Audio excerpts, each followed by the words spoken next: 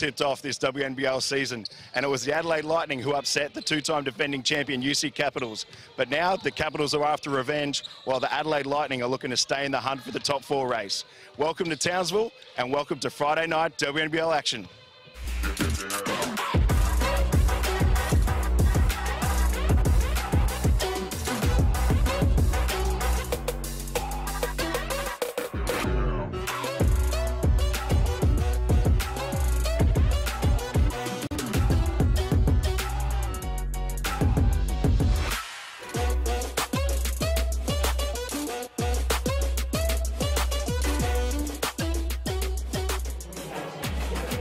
Game 36 of the WNBL season and both teams coming off a loss. Both teams in playoff contention on the run home.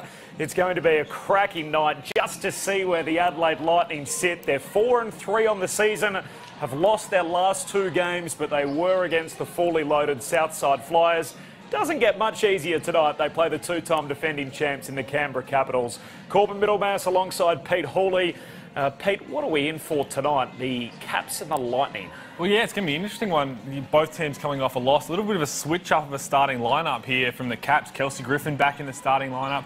Uh, Tupaea out there. So who's going to respond the best from a loss? I think the Caps was kind of a shock loss. They were kind of rolling, but we want to see the Lightning get back to that pre-quarantine form. They were fun to watch, and as you said, they come up against the red-hot Southside Flyers, which is a bit tough, not only once but twice. And I'm expecting them to come out and be really aggressive.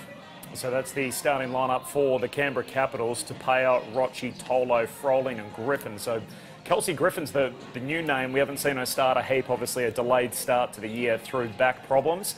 Uh, that's the Adelaide Lightning starting five. What do you make of that, Pete? Well, it's going to be led by Alex Wilson and Steph Talbot. They've both had tremendous years and we know how good they are. And Steph Talbot was a bit quiet against the Flyers, but they really put a lot of emphasis on trying to shut her down. So I'm expecting her to have a big one. But when those two are flying, the confidence runs through this young team and they shoot the ball with confidence, and they kind of get this momentum going. So look for the two, uh, two-headed dragon to lead it, and then the rest to follow. Adelaide have a few more games up their sleeves than, uh, or up their sleeve than a lot of other teams in the competition, given the fact that they had that quarantine period. I feel like there's more in it tonight for Adelaide, just to see are they are they genuinely a playoff contending team, or are they a rung below that? So I feel like we're going to find out a lot about them tonight. We know the Caps are, uh, are a legitimate um, title contender. Well, the Caps shown all year how good they can be, and they've knocked off the Flyers, the Boomers before. They know how we, what we're going to see. Can they bounce back like championship teams do? But I'm excited to see this Lightning team now come up against the Caps and really try and showcase what we saw before quarantine. And this season is so shortened, it's so quick that momentum in games is huge. So can they get back to that? And if they do, it's going to be a fun game. Mm. You saw Braden Hazelhurst off the top. He's been busy. He's already caught up with Tahlia Tupaea and also Carly Smith a short time ago from both the Caps and the Lightning. Um, Tahlia, what did you guys learn from the uh, loss the other night against Melbourne? Yeah, our offense was pretty stagnant. We weren't moving the D a lot, so it'll be a focus on that tonight. And then just our defensive pressure, getting up and in on the ball. Against Adelaide tonight, what's the focus going in against them? Uh, push the ball in transition, if not, get into our structure and defensive pressure, same thing. Thank you for your time. Thank you. All right, sweet. Uh, Carly, what did you guys learn from the two losses against Southside on the weekend? Yeah, look, uh, we definitely learnt a lot. Uh, we need to improve on our defence as a team, but um, that's all in the past now. So at the moment, we're just focusing on tonight's game, but uh, definitely did learn a lot. Uh, going against Capitals, two-time defending champions, what's the focus uh, going in against them? Yeah, so obviously they're a very talented team. Um, so mainly defence, like I said, um, as a group, we just need to work on our defensive principles, and hopefully that will get us uh, the job done. Thanks for your time. Thank you. So Carly Smith chatting there a short time ago with Braden Hazelhurst. There's the Adelaide Lightning, the last word from coach Chris Lucas. Of course, just two years ago, these two teams played in the championship deciding series. Of course, the Capitals winning the first of their back-to-back -back crowns. Now, the Caps are also donating to Lifeline for all team assists from the uh, match pass against the Melbourne Boomers. So that was 17 assists in total. And for the upcoming match tonight against the Adelaide Lightning. So what that means, Pete, is that each team member is going to donate $1 per assist. It is Lifeline round, round four of the WNBL season.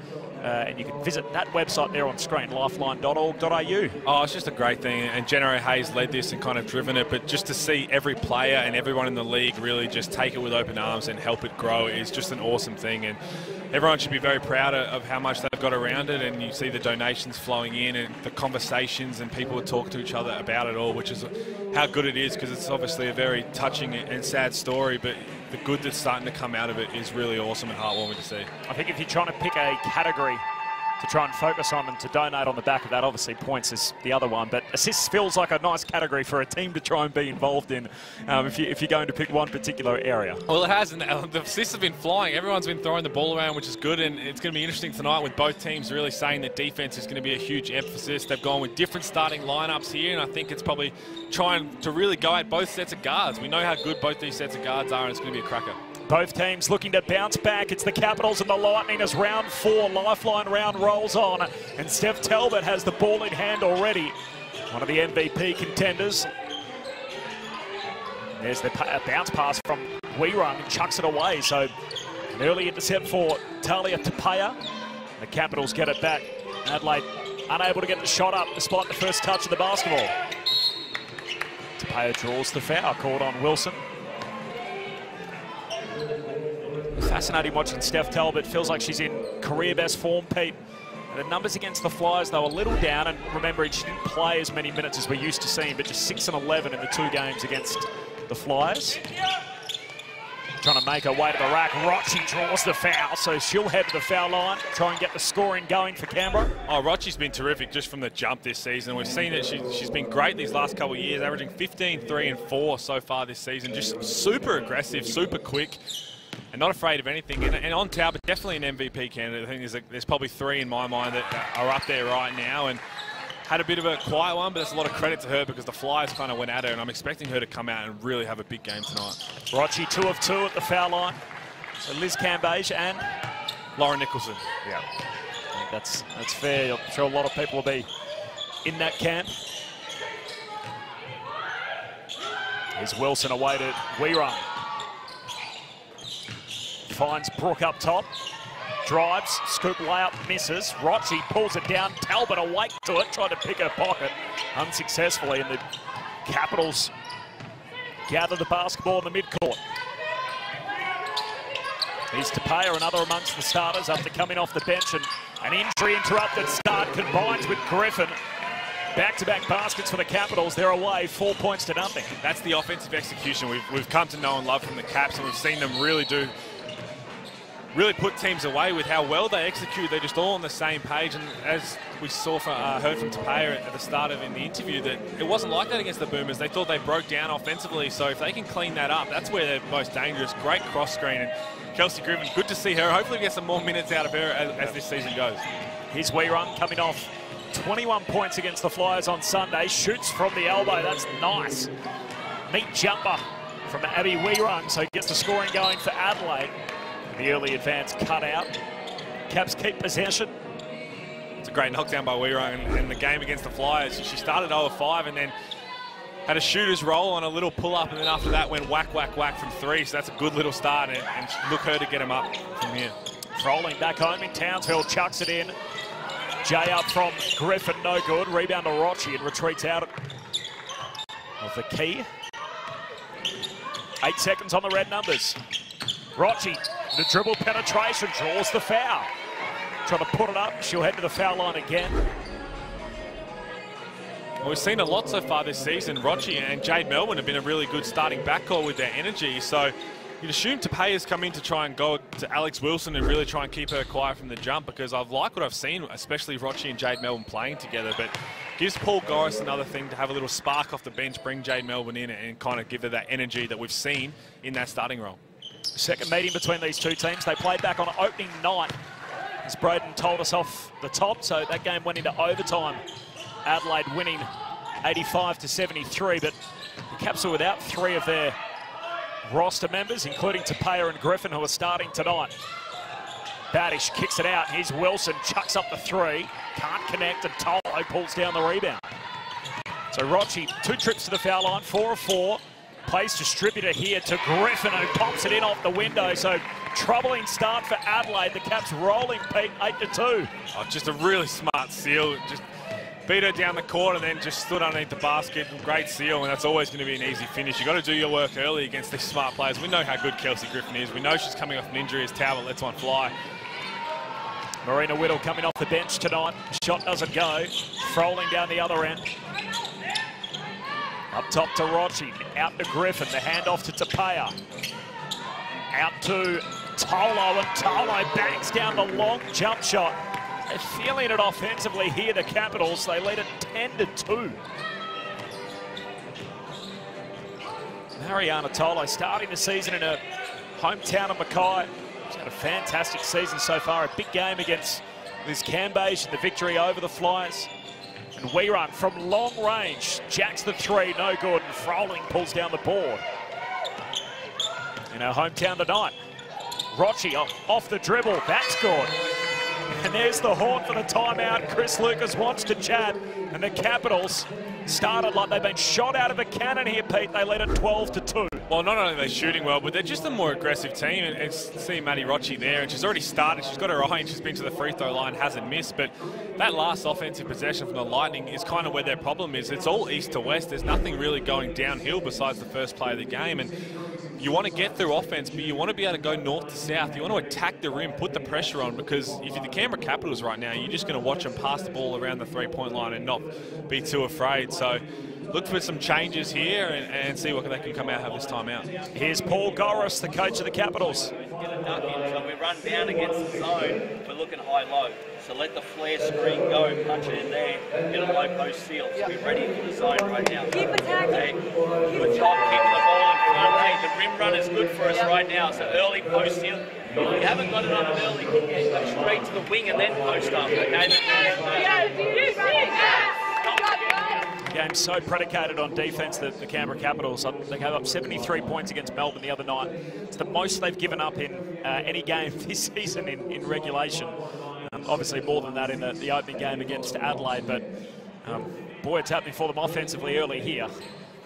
Well, we've seen when, when their offense is executing well and their energy's up, their defense just kind of rolls with it, and that's where they've really started to, to get those good wins on teams. And they did it against the Flyers a, a week ago as well. So when this Caps team is executing on both ends with energy, they're really, really tough. Braden, what did Chris Lucas have to say to the Lightning? Yeah, he was really focusing on the offensive end, thought their poor execution was leading to easy opportunities for the UC Caps, and then was talking about not letting Kelsey Griffin just get down the court and get those early seals too easy as well to start this game. And then, but looking at the UC Caps, I spoke to Paul Goriss before the game, and he said they seem a lot more energetic, a lot more relaxed after that loss the other night. So a, a good start for the UC Caps as well. Braden Hazelhurst, courtside for us. The other one's Louella Tomlinson as well, who's coming off the bench tonight. Shot goes up from Griffin, grabs her own rebound, pops it back in for two more. The rebounding count here, Pete, seven to zip. The Capitals 14 to 2. Talbot tries to answer back at the other end unsuccessfully. Whittle competes outnumbered and the Caps back away in transition. Here's Rocci, well, caught between two minds. I'm not sure whether that was a shot or a pass, trying to feed Froling in the low block and chucks it away. Um, they can afford that though, Canberra. They're off to a flyer here. They lead it by 12. Well, it was a really good seal there. Just the pass was a bit long to, to Keely Froling. But yeah, the Lightning, you want to get through offense and really start to find out where you can be successful against this Caps defense because you can take contested threes, as we see there, a nice little curl screen, and much better right on cue. And great read by Steph Talbot, great pass and a better finish. And if they can start to execute that way, it makes the Caps have to adjust. Right now, the Caps are getting whatever they want on both ends. Talbot's first bucket. Stops a 10-point run for the Capitals as well as Rocci hands it off. Tolo steps out of the key just in time. Rocci tries her hand from three, left it short, and then Wilson bowls her over, competing for the rebound. That'll be the second foul on Alex Wilson through the opening four and a half minutes someone who plays a lot of time for Adelaide. She's averaging upwards of 35 minutes a game so far this year, and she's going to have to sit here with her second personal. Yeah, that's going to hurt a lot because her aggressiveness is something that the Lightning kind of uh, flow with, and that she had the first foul, and that one's a bit undisciplined, and Maddie Rocci should not be getting close to that offensive rebound from three unless it goes over your head. So you've got to still box out because Maddie Rocci's a very good rebounding guard as well. Um, but that's going to hurt. Who's going to be able to step up now on this Lightning team in that guard space? Here's Tupaea, chucks it down to the corner. Cubillo, one of the best three-point shooters in the game, catches the eye and it bounces long. Wehrung chucks it away. Out towards Ortlepp, who's on the floor for her first minutes. This is Wehrung trying to make her way to the rack. Oh, just chucks it up over her head. A little unorthodox, doesn't drop. Tolo again cleaning the board. So rebounding count 10 to 1 Canberra's way and a 10-point differential on the scoreboard. Mikaela Ruef up top. Down low, Tolo goes to work, more points off the glass. And you can see just the two contrasting styles of offense there. Canberra just getting through everything, setting screens, just getting players where they're going to be successful. And Tolo there and just has a nice, easy finish. And the, the, two times that we've seen the Lightning run through offense, they've got some scores. And it's going to be hard to break this Caps team down one-on-one. -on -one. They're just, they move too well together. The help side defense is there. It's going to be really hard as we see there. And good screen from Whittle. And I'm, I'm looking for Whittle to bounce back. She had a really good game against the Flyers, just not on the scoreboard. Missed a lot of easy layups, and I'm sure she'll want back. 15 and 8 her numbers from that game on Sunday. They played the Flyers twice in four days, but as you said, didn't quite happen for her. Uh, the Wednesday fixture, just the eight points, six rebounds. And here comes Jade Melbourne, who was starting at the start of the year. The most exciting prospects in the game. It's really been great talking point, hasn't it? The, the water cooler conversation with uh, with Jade Melbourne and Shyla Heal, two of the, the fastest rising stars, two teenagers who have both had excellent starts to the new season.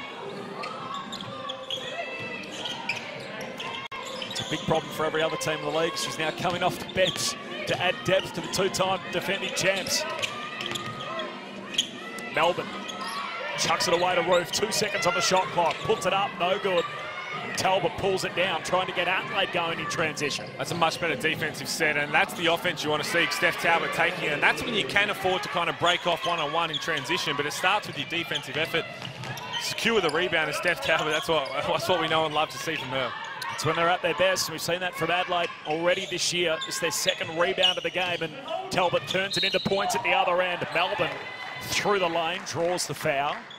Trying to get the shot up.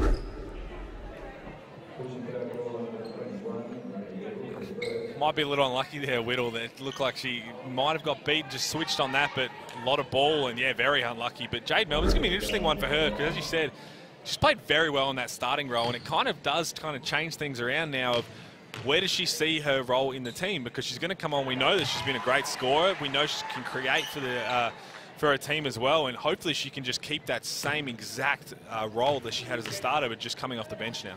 Adelaide will know all about Jade Melbourne. Actually played a pre-season game against the Adelaide Lightning before the WNBL started. She was playing for the Centre of Excellence and lit it up there before she'd even signed for the Capitals.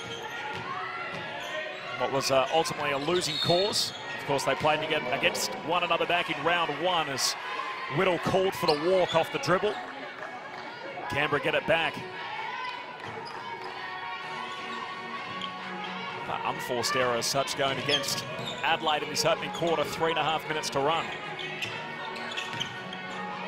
Kept still by 12. Froling still out there, as is Tolo, a couple of the starters. There's another whistle coming here. It's going against uh, Louella Tomlinson for a push coming off the bench here. that's Tolo just seeing that she had the defender uh, in the wrong spot and just sealing really early in a little push, but very smart player, Tolo. She knows exactly how to play on both ends really effectively and uses her size well and just seals at the right time. It's all well and good to just be to be big and strong, but if you can't seal at the right time, you're going to get defenders to get around you, and then she goes and earns them right there. Had 11 and 6 on last outing for the Capitals and a losing game against Melbourne back on Tuesday. Marianna Tolo makes both foul shots and sits down. So there's a fair bit in those last two graphics you've seen. One, uh, the fouling by Adelaide, so Canberra's in the bonus, and they're perfect at the foul line. Adelaide haven't had a trip there yet. 14-point game.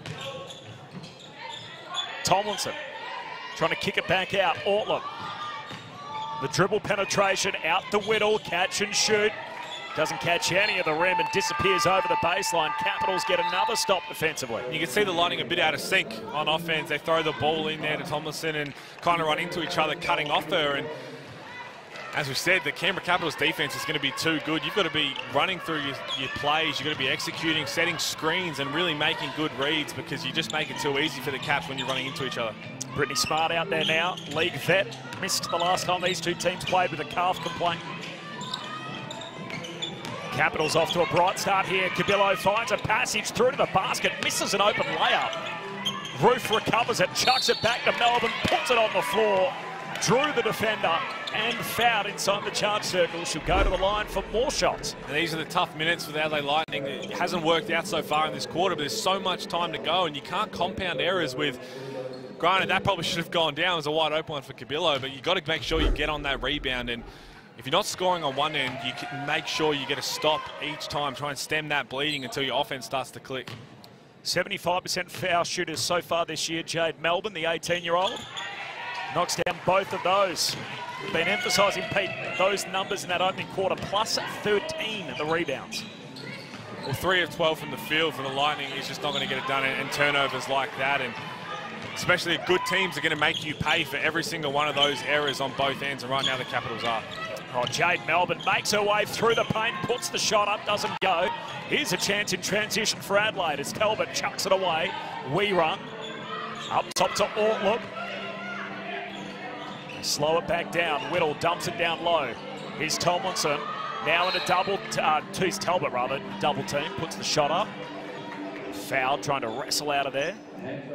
There's better recognition. You saw she had the mismatch to get it down low, but you see the Caps, they're swarming on her straight away. and They're trying to get that double and got a little bit handsy in there and, and kind of gave away what was a really good defensive possession because as soon as she caught the ball, there was a double ready to come. And whether that's a play call that they've called, they're going to double her in the post, or it's just a really, really smart read defensively by the Caps. How many times have we seen Steph Talbot this year in the open floor, running downhill, where she's most threatening, so difficult to guard in those scenarios when you, are only pulling down, what, three rebounds in a quarter of basketball. Doesn't give her too many opportunities to, to beat her best in those scenarios. You're exactly right. We saw the one time she did get a rebound, she took it off uh, coast to coast, and that is where she's at her best. And it's where the Lightning are at their best, but it's not going to help if you can't get a stop because the Caps are filling it up right now. Brittany Smart banging them down. That doesn't help coming off the bench. So all of a sudden it's a 19-point game. There's still 90 seconds to go before quarter time. Talbot missing her foul shots, which led to that three. Tomlinson fumbles over the baseline. You can see a little frustration in the Lightning right now, and it does compound when the Caps seems to be just getting whatever they want down one end. You're thinking about how we're going to try and get stops, but on one, the other side, as we heard uh, Chris Lucas was saying, as Braden said, you, your offense is, is called stagnant and people aren't moving together, and it's going to be a long night unless they can make a change quick. Minute 10 to go. Mikaela Ruef up top with a handoff away towards Melbourne, trying to go off the dribble. Hand in there from Ortlepp. Cubillo. Back with it in the midcourt. Five on the red numbers. Cubillo goes off the dribble, lays it up, can't finish. Bounces off the window, missed the rim. Griffin thought it caught some of it. She can't believe the call as the backboard lights up. Talk us through the replay, Pete. Well, tough to see from that angle, but better defensive possession. I don't know Camilla go downhill, but you can see there were some bodies around her. It looked like the right call, didn't look to be hitting the rim right there. But can they capitalise now? Just get something on the scoreboard and look at that. They're just swarming all over Steph Talbot whenever she tries to get close. Here is Talbot. Puts the shot up. Three seconds in the key. So Talbot, they finally got her the ball and she's penalised for that. So another uh, another possession goes begging. They hand it straight back to the Capitals. You saw her there pointing to Ortlepp saying, call for the ball and pass it from the wing. She, that was where her seal was. That was where the angle the ball had to come from, not the high post. And you can't let the frustration really creep in because it looks like they are trying to force things a little too much. His Ruef out to Smart. Three ball up, rattles out. Griffin leaps up, grabs another offensive rebound. They're doing a job on the Lightning in every category at the moment, the Capitals. And now a foul on the offense as Griffin is going to be called for the illegal pick on Ortlepp. So a little bit goes Adelaide's way there as they get the possession back and deny the Caps a final score in this quarter. All credit there to Ortlepp, just getting up and in, giving defensive energy. That's what we've wanted to see so far in this quarter. And getting her hands in there, a few little deflections. That's what caused that uh, offensive foul there by Griffin because she was so up and in on defense. Eight seconds left. Wehrung, trying to make her way to the basket. Shot up and in. With some points right as the buzzer goes for quarter time, so they avoid the lowest opening score in any quarter so far this year in the WNBL. They get themselves to eight, but they're well behind in the game. The Capitals running rough shot over the Lightning in that opening term, 25 to 8. Well, Chris Lucas is going to look at that last play right there and say, when we run for their offense, we can get good shots. And just a great read off the screen. And Thomason, a great little pass, good finish. It was a tough finish, but that's the offensive execution that Chris Lucas is going to want to see. And to try and make the Capitals have to do something different on defense, it's all just too easy right now. Just Chris Lucas, coach the Lightning. Now, any catch in the post here, Griffin is coming. So we need to change sides to the open player. We don't have to force it into step. Any post catch doesn't mean it's not just step. Griffin is leaving her player. The weak side's playing too. Okay? So everyone got it. We need to value possession. We need to get that done the other end to get our game going here. They just want it more than us. We need to get after it. And we said we need to move the ball. Offensively. If it's not on, move the basketball. You don't need to call it. Has everyone got it? Get your matchup stuff. Let's go. Griffin. Okay, where we go? What'd you pick up from all that, Pete? Well, he said don't try and force it, and we saw in a couple of possessions before where they really just try to throw it down to Steph Talbot. Yeah, she's one of your best players, but you can't force these kind of things, especially with the uh, defense the Capitals are giving. Move that ball, find those gaps, and when they've done that the few times, they've had success, but he set down the other end. They want it more. The Caps are going after offensive rebounds, 17 to 4 rebounds. They're getting to the line. They're just more aggressive. And he said, we really have to hit bodies. Who wants this more? And it's going to start at that end and carry over on the offense. So can they come out in this second quarter and just show something in these first two minutes? 0 of 5 from the three-point line, Adelaide. Had five turnovers to two, but the rebounding counts the, the big one, which you emphasised there, Pete. 17 to 4. The offensive board 7 to nothing.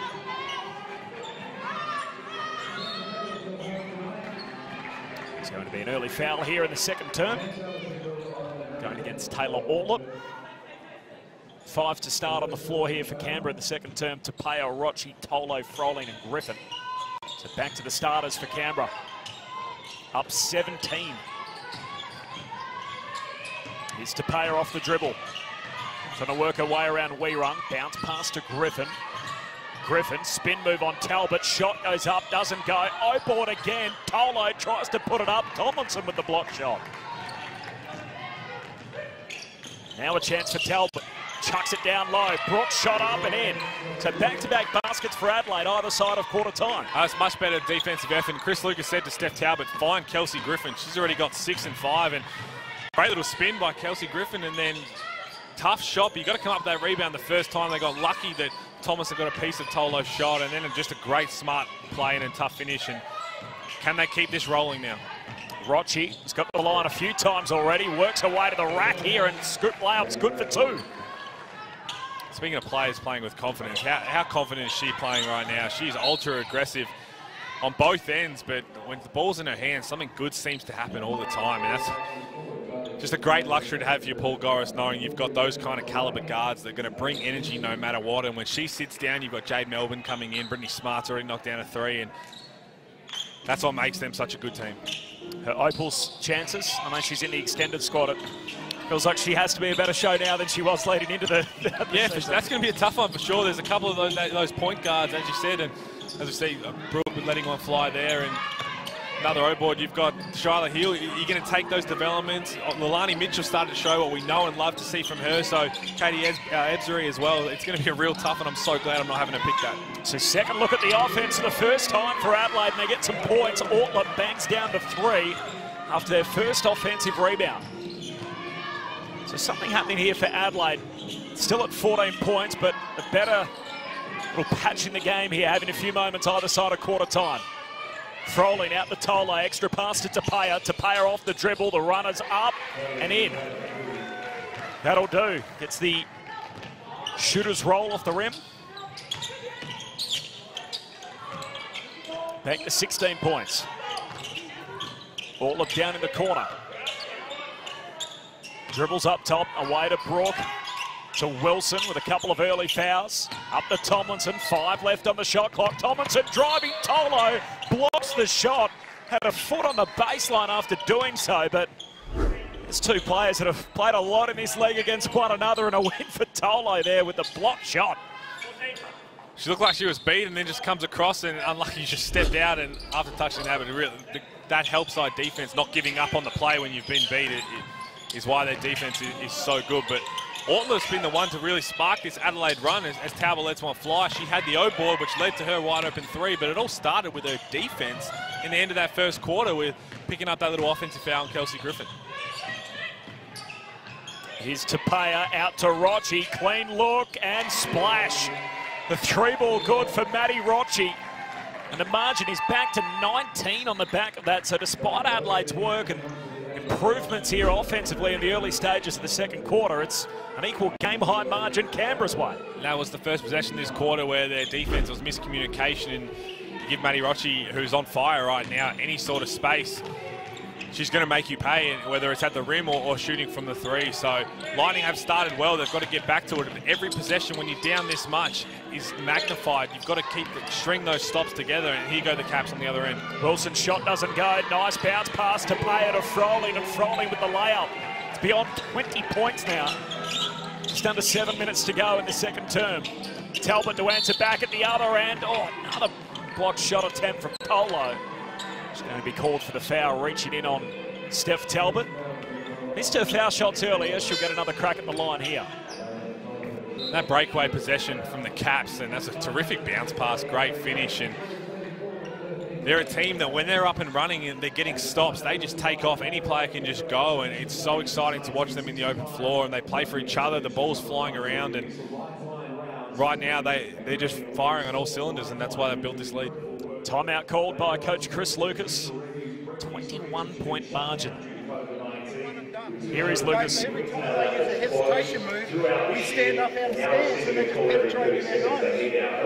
guys, you've got to play down. Play twos, okay, back to zone, twist, aggressively. Okay, aggressively, together. All right, make sure we know the spots where we're twisting. Okay, offensively, um, let's go 44, 44 next play. Okay, got it? Okay. Got to own the charge circle, guys. Come on. Go, go, go, go, Strike on three, one, two, three. And Chris Lucas there talking what we've been uh, looking at is their defense, and you've got to have that pride of, of staying in front, moving your feet and staying down. And yeah, the Caps have only hit two threes. They're two of five from three-point land, but right now they're just driving past at will and getting to the rim, getting fouls, getting to the line, getting O-boards. So when your player's got the ball, you've got to get down in the stance. You've got to move your feet, use your body to try and keep them in front of you because right now they're getting whatever they want as soon as they get past that first line of help. And if someone does come across, if Tomlinson comes across to try and help on that help side, they just pass it down and it's an easy finish. Braden, what did Paul Goriss have to say, the coach of the Capitals? Not much, to be honest. He, he, was pretty happy with the way they've been playing so far, just focusing on some offensive execution. But for me, there's two big differences for Canberra tonight compared to the loss against Melbourne. They, I thought they were out-muscled a bit by Melbourne Boomers the other night, and they've really come out and sent a message early on both ends, being aggressive, but also, like Peter said earlier, making contact on screens, being physical down the defensive end, all that sort of stuff, which has really led to this big lead. And then, second of all, when they've struggled against teams, they've really taken advantage of their small guards by posting them up and stuff like that. And I think the change in the starting lineup has really addressed that issue because Adelaide haven't been able to take advantage of that early, and that's one area that Goriss uh, was concerned about before the game. Great inside from Braden Hazelhurst, courtside as Tupaea. It's a shot up. Again, they recover the ball offensively. Froling to Rocci. She doesn't need too many opportunities as she bangs down yet another three. 14 points for Rocci. Just getting multiple looks every time down the floor. Well, they are, and that's exactly what we touched on. Chris Lucas said it. They just wanted more down that end, and they're getting those extra efforts. And you can't let good teams get so many extra shots. They're going to make you pay, and, and we've seen it so far this game as Wehrung lets one fly. And oh, she recovers the ball too. So another opportunity for Adelaide here. Brook away to Talbot. Talbot with little Euro step, able to find her way to the rack and lays it home. Great offensive rebound. The Caps have been doing that all game, so it's good to see that from the Lightning and Talbot. That's where she's going to be good is broken play. The defense isn't set. Gives her a chance to go one-on-one where we're probably going to back her one-on-one against any other player. 23 point margin a short time ago, back to 21. Froling Is it knocked out of her grasp? Last touch by Badish. Big game for Adelaide tonight. We touched on it a lead in. Question's been how do they go against the teams in and around their station? We've seen them record some wins against teams like Sydney and Bendigo and then come up a long way short against the Flyers. They were heavily beaten in Townsville last start in this gym up against the Melbourne Boomers. It's not going their way early tonight. It's Rocci jacks the free. Touch on it from Griffin. Can't control the handle and out it goes. Adelaide ball. Well, there's a lot of talk about them coming out of quarantine. Are their legs going to be there, their fitness? But it's more that they were actually playing really well in those two games. Everyone was on the same page. They kind of had that that chemistry early, which is really hard to find in a season without a really long preseason. And now they've got to try and get back to that. And you don't have too much time to, on the training court to do it. It's got to be in games. They've played the Flyers the last two games. It's really hard to try and figure stuff out against a team like that. And now you come up against the reigning champs. It's going to be tough, but plenty of time left in this game and to just slowly tick over where they can go and build momentum from now that they can take into the next couple of games. Second chance points 9-2. Capitals way. Backs up that uh, offensive rebound tally of 8-3. Capitals favour. Nice look here for Badish. Knocks that down. Can that get Adelaide going? Hits the three ball from up top. Well, Badish with the start tonight for Adelaide. He's smart. Bounce pass to Griffin, and Griffin draws the foul. Trying to take it all the way to the hoop again. Kelsey Griffin. Just so well. Great little pass by Smart there. and Their offense, when they run through the, their execution, and if you're a help side defender, I, I can't see uh, Badish right there. That's going to be you coming across. You really leave Chelsea Brook on an island there because she's got to show and then get back, and that's why she's never going to be in position because she's helping out on that ball screen. So if you're the low help side underneath the rim, you've got to call that early and go across, and that's when you can take the charge. Or if not, you can stand there and not foul with your arms up because you really make the help defender on that screen have to really struggle to get back in front. It's just not going to happen. 12 of 12 from the foul line so far. The three points for Canberra as Wehrung jacks the three again unsuccessfully. Smart tries to keep it alive, takes out the advertising hoardings. Going to be Adelaide ball, though, in their front court. Desperate play from Smart.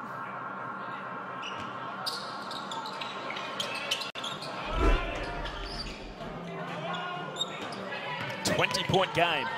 Wehrung down low. Ruef intercepts it for Canberra.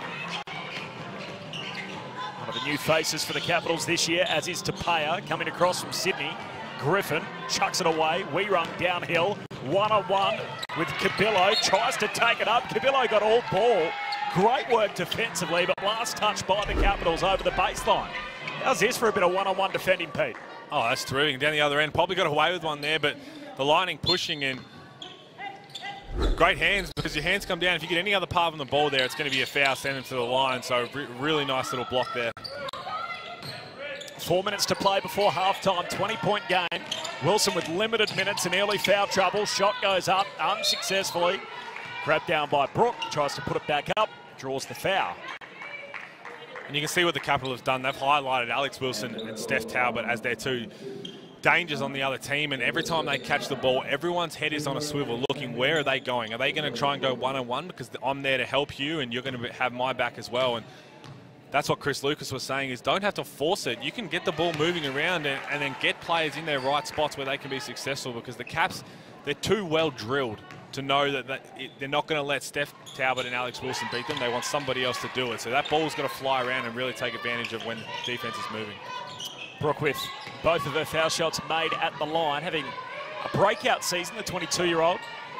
A state league MVP at uh, just as a teenager. Valley Junior. 18-point game. Cubillo, bounce pass trying to find Ruef, disappears over the baseline. Last touch, Adelaide. Brooke was really good in that in the last quarter against Southside Flyers when that game was, was all sewn up and she knocked down a couple threes and really good defensive uh, possessions. And that's what you want to see when in a game like that, who's going to step up and really just keep grinding and take those opportunities? And she was definitely one and look for her to keep building on that confidence. Another O board for Tupaea. Here's Cubillo in the midcourt. Off the dribble, down to Smart in the corner, catch and shoot. A little long to Payer again on the offensive rebound. Another look at it offensively. Cubillo chucks it into the shoe of Whittle.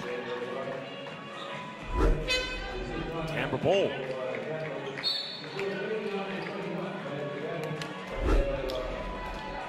Timeout going to be called here as well by coach Paul Goriss, so wants to chat it over.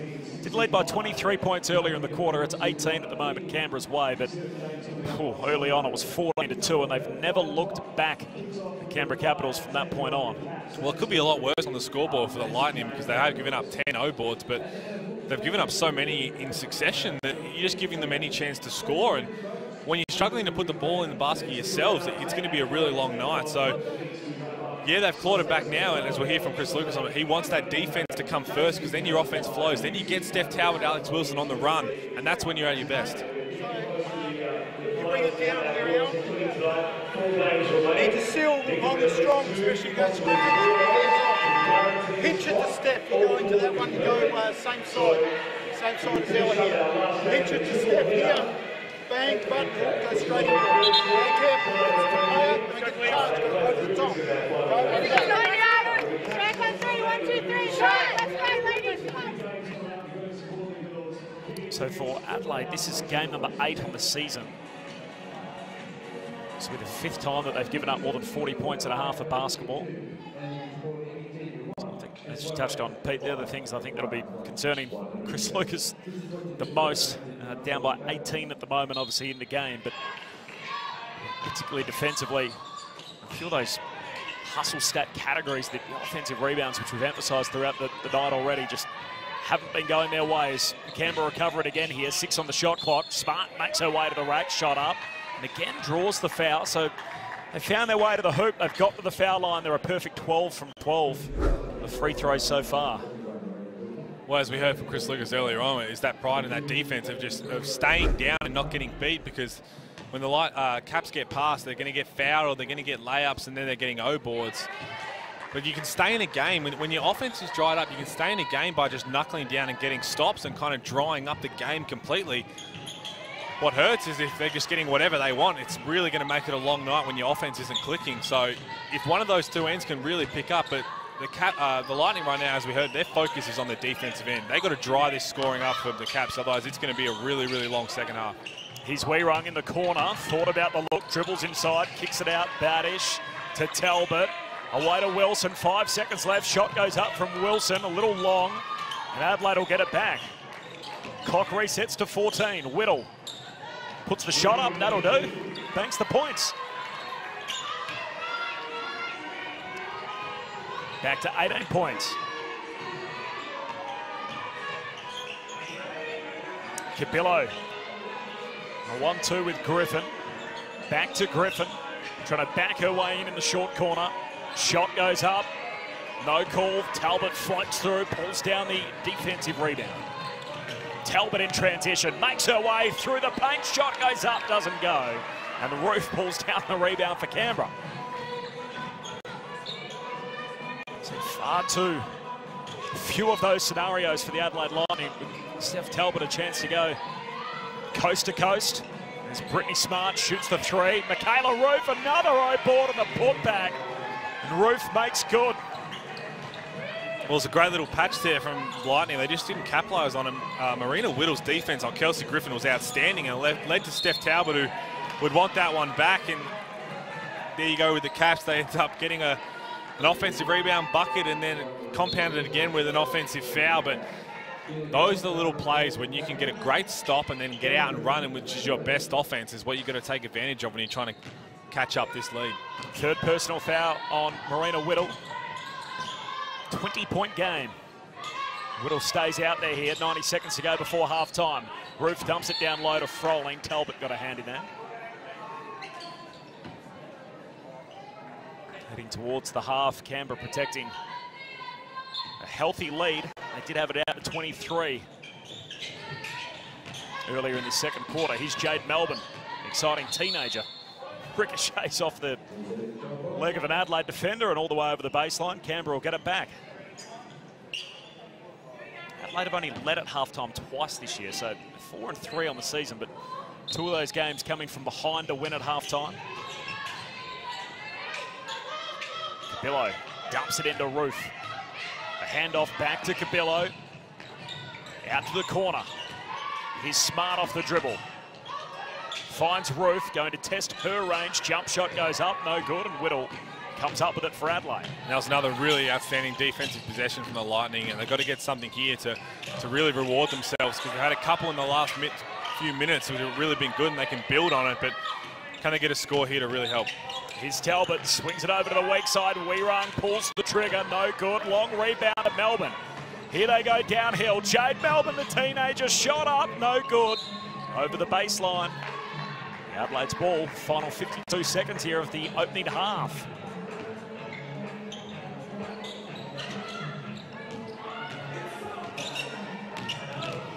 Alex Wilson trying to make something happen for Adelaide. Badish. A handoff to Talbot. Goes on her left, back through the lane, tries to chuck it out in the corner. Wehrung with four seconds left on the shot clock, takes Melbourne to the basket, draws the foul. Maybe Wehrung will head to the foul line. It's a really great play by Wehrung right there and got cut off by Jade Melbourne. We know that she's going to be that energetic defender and to spin back around and go to the line. I think Steph Talbot might have had a nice little hook layup there at the front of the rim, but did the unselfish thing and passed it across. But better offense because there was some action towards the rim. They passed the ball around the perimeter as well. And these last couple of minutes, they've really stemmed that bleeding. Well, we talked about the Caps had this blown out to 20 points pretty early on, and they've kind of held it at that. But it's going to be those plays we talked about where they get the stop. They've got to reward themselves down the other end if they want to get back in this game.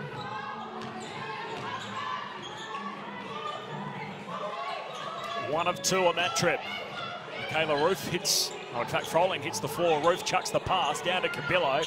Into the corner. Smart for three. It's a second triple. Makes it from the corner. Brittany Smart. Finding some points off the bench for Canberra. Out to 22 points. Whittle puts the last shot up at the half. Draws the foul. May not be the last shot. 1.7 seconds left.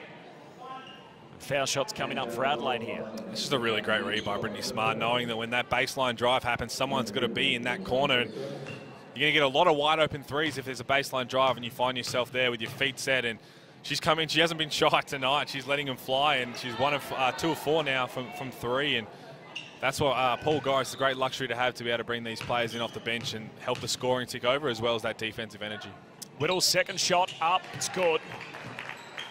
21 points. Second left. She doesn't even bother chucking it up. Abby Cubillo, the work done for the Capitals in that first half. Adelaide kept their lowest halftime score for the season, just 25 points. And another solid defensive effort from the Canberra Capitals. It's the fourth time this year that they've kept the team to 25 points or fewer in the first half. 46 Canberra, Adelaide 25, the Caps by 21. Well, this was all started in that first quarter. The Caps came out on fire, and, they, and Tupaea talked about it in her interview that their defense was going to be what started it, and it really was. They kind of just took the Lightning away from what they wanted to do, and it just stemmed. Their offense was clicking, which we know how good they are offensively, and then everything else kind of just capitulated for the Lightning in that first quarter. Turnovers, uh, missed shots. Their offense was completely uh, all over the place, and it just built out that lead. But in that second quarter, it was a much better effort. But you're always going to be in trouble when you're chasing tail against a championship team. Let's check in with the Canberra Capitals. Maddie Rocci, sensational in that first half with 14 points. She's with our own Braden Hazelhurst. Yeah, Maddie, you guys seem to come out with a lot more energy and especially physicality after the loss to the Boomers on Tuesday. How much of a focus was that for you guys? Yeah, I mean, that start was what we needed. Um, that was been our main focus after that Boomers game was getting that start and that defensive pressure. So to come out that way and to lead into the break with um, this score margin, obviously we can't be too worried about how much of a score margin there is and come out firing in the next half. And you guys 46 points in the first half and yourself got 14. What's enabled you guys to get going offensively? Yeah, I mean, I think we're just moving the ball well and looking for that open man. We're not playing selfish, we're playing to find somebody who has the ability to score with that open space. When they're collapsing, we have shooters on the outside. So, I mean, it's hard for them to defend, but yeah, we're doing what we do for the team. Good luck in the second half. Thank you. Thanks to Maddie Rocci, sensational half of basketball from her, 14 points. They really capitalised on Alex Wilson being in foul trouble early in the piece, but um, was, was sensational both sides of the ball for the Caps. Well, you're right. The Alex Wilson fouls really hurt because you know that Alex Wilson and Steph Talbot are the engine room for this Adelaide Lightning, and when one of them has to sit, it's going to be hard. But you could see that what they wanted to do defensively, they wanted to make nights tough early for Alex Wilson and Steph Talbot, and the Lightning just kept trying to force it in there. And they didn't. That this was their best offense when they could get out on the run and they could get players coming off the rim. I think they had really three or four maybe good offensive possessions the whole half. And Chris Lucas will be saying that. Yeah, we've got to tidy up the offense, but right now, defensively, 46 points is just too many. Better in the second quarter, but as you see right there, the Caps are getting whatever they want. They're breaking people down off the dribble, they're out and running, and they're just getting offensive rebounds. And when you're chasing your tail against a championship team, nights are going to be really tough if you keep giving up those things. Teams get reputations over time, and one of the reputations that the Canberra Capitals have is that they, they are a physical team. How much of being a physical team, Pete, in basketball comes down to, sure, there's a clearly a physical component, but how much of it is a mental component? That when you come up against a team and you thought, you just think, particularly if you're down early, this is just going to be a dog of a night. It's going to be hard and brutal the whole way through. Is there a mental aspect that's a part of that? Well, there is, and it's kind of like the Capitals have touched on as we look at some of the halftime stats here. The things that will stand out, the rebounds that came a little bit closer, but that was kind of blown out early. The assists and the shooting right now from the uh, Caps, they're just getting the easier shots than, than the Lightning. But you talk about the physicality. It's because they, they're well drilled with all of this. They know this is how they play. The, the referees see it as well, and they let a lot go away because they know that the Canberra Capitals play this way. It's not a switch they flick on. They always are physical, and that's the way that they uh, referee the game. It's all well and good that if you have teams that try and match it, and you're not used to it, that's when you get these little fouls. You see Alex Wilson get a couple of fouls. The Caps are always going to play that way. So you've got to try and match their physicality from the jump because you try and flick a switch in the first quarter and look what happens. You get foul calls and you let them get away with things. So that's why they're a championship team. Yep. We, we, expect this to, we, to see this from them and we enjoy watching it. How hard is that to turn around in play? Well, it is, and a lot of it is you look at those kind of things on tape in a normal season and say, hang on, we're going to do some drills like this in training and practice, and we're going to you're going to be down or we're not going to call fouls for certain things and really try and match it. You don't have that luxury in a season like this. And in the Adelaide Lightning, that was better in that second quarter, but now it's half time. You've got to try and put the score to 0 0. Let's win the next couple of minutes and then let's win the third quarter and let's try and match their physicality. You might get a foul two called here and there, but if Chris Lucas sees it, the referee's going to see it. And over time, you're going to match their physicality and then exceed it. And this game can be turned around. But it's tough when you come up against a team like this who could just do it so well. The Canberra Capitals are the two-time defending champions. Uh, they went on a seven-game win streak before they lost on Tuesday night to the Melbourne Boomers and they're going to get better and better and better. Already a settled unit, and they're getting players back from injury. One of them is Kelsey Griffin. Uh, she was sensational in that first half of basketball. She managed to walk away with uh, eight points and five rebounds. And the efforts of, of Griffin and Rocci, but just to put a light firstly on the, the former league MVP and what we saw from Kelsey Griffin, uh, Kelsey Griffin in that first half, Pete. Oh, she was great. She was six and five in the first quarter. It was a bit quiet. She only played 13 minutes, but She's just such a smart player. She gets in the right spot. She knows where she's really successful and she doesn't let defenders take her away from it. And that's why I'm glad we're seeing her in the starting lineup. She's going to be ultra important for their run to try and to win this title. And another one right here, Maddie Rocci, and just love watching her play. She's just so aggressive, so creative, and that's what was really fun to watch early in the season was her and Jade Melbourne. But she's a player playing with extreme confidence and as you said, the, the, Opals, you never know when it comes to this. If she keeps performing, she's going to make yeah. Sandy Brondello think, hang on, I can't possibly not have her in the conversation when she's doing things like this night in and night out. We're going to have a lot of guards to choose from, aren't we, for, for Sandy Brondello? You talked about Shyla Heal. You've also got uh, Tessa Lavey and uh, mm-hmm. Tessa Madgen, obviously, as part of this, um, this extended squad as well. But I feel like Rocci's the, the classic case that you probably didn't have her as, as one of the front runners pre-season, but given the season that she's pumped out, she, her chances have got to be better than they were uh, when the when the season started a couple of weeks ago. Well, I definitely don't envy the selectors on Sandy Brondello when it comes down to it, because the guards are going to be so. Those spots are going to be so hard to get for the Opals, but that's what you want. You want to have those tough choices because you want to have everyone competing. And Maddie Rocci's putting her hand up. Shyla Heal's another one, young superstar in the making that you're going to give these vets who we know and have always delivered for the Opals, saying, hang on, Leilani Mitchell the last couple of games has said, hang on, my time's not over yet. I'm still here and you've got to come and take it from me. And that's what we get. That's how good this hub season is, is we get to see them go against each other every single night. And it's so fun to watch. And yeah, it's going to be an interesting one where whoever does get to put on the green and gold is going to be well deserving. Uh, it's Lifeline round. It's also the penultimate round of the WNBL, which means uh, we have a particular focus on the run home. Each team's going to play 13 games. I just want to put a light on the Canberra Capitals here and, and take a look at what's ahead for them, the two-time defending champions. So they're 7 and 2 on the season at the moment, and they've got games to come against Adelaide, Townsville, Perth. And then in the last game, uh, that's a matchup with the Southside Flyers, which is could be a prelude for, for what's to come in the in the playoffs. Well, it's going to be huge. They're a game behind right now, the Flyers, and you know that top two is going to be a massive chance to try and win this title, and you get that second chance. And yeah, it's a good one home for them. I think they, they're going to be able to take care of business leading up to that big game, and that game's going to matter because they're probably going to have to play each other then, and then the week later or the couple of days later in that first final. So Momentum in a season like this is massive, and I think the Canberra Capitals right now, they got the number of the Flyers last time. The Flyers looking really good right now, so that game's going to be huge because a couple of days after, they probably have to play each other again. The quirks of the draw too, some teams have less travel than others, and I think that's important to remember that the Canberra Capitals, although they're the two-time defending champs, they started in Mackay, they had the flight to Cairns, they've done their Cairns trip, they've done their travel. Um, they're in Townsville through to the finish, so if they're holding up the trophy again, they, they won't be travelling again. So that's a, a, big plus for them that they'll stay in Townsville now until the end. Oh, well, that'll be massive for them. And yeah, they lost to the Boomers the other night, but that's a good loss to have because right now it's still you've got a few games to go. You get to go back over there and, tweak a couple things. And as you see, Paul Goriss coming out with a different starting lineup now, and just now they can put that run together. If they if they kept winning those games, then it might seem a little easy, and that's when you come up against the Flyers who are rolling, and it might be uh, bad for them. So they'd be happy with that. Obviously, not to lose, but now they can get back to business, and you see what they've come out and done so far in this first half. And that's what championship teams do. Adelaide are playing catch up somewhat. Obviously, they've played fewer games than every other team given uh, their stint in quarantine. So that's the path ahead for the Lightning. They're obviously up against the Canberra Capitals at the moment.